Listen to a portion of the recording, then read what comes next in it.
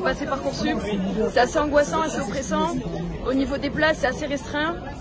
Ensuite, les réponses, on les a beaucoup trop en retard.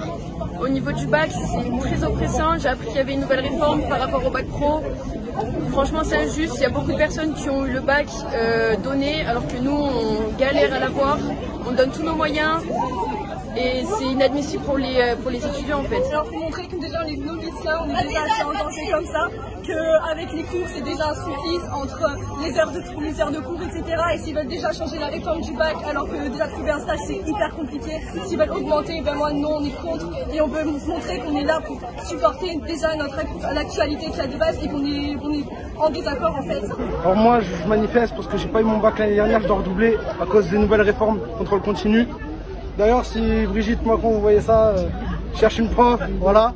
Mais voilà, je paye mon bac, on manifeste tous. Le fait de supprimer la filière professionnelle, c'est pas bien, parce qu'on a plein qui vont se retrouver à la rue. Et franchement, heureusement qu'on est là pour faire bouger les choses. Bonjour, moi je suis Khalil Bora, élève de première au lycée Adam de Craponne. On n'a pas le choix, en fait, c'est euh, au niveau du parcours c'est aussi très mal fait, donc il y, a, il y, a, des choses à revoir et on espère être écouté aujourd'hui en faisant, euh, en faisant cette manifestation-là.